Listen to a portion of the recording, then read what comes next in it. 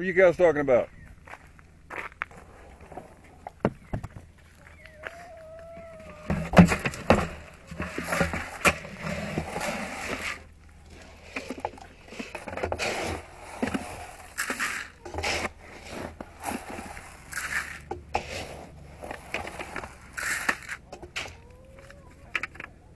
Hmm.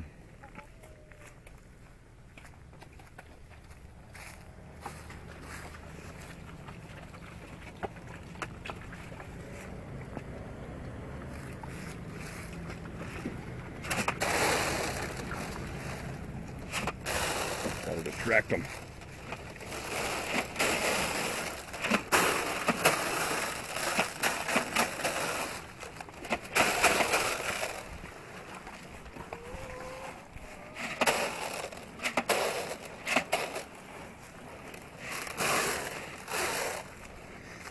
There. You got your snack.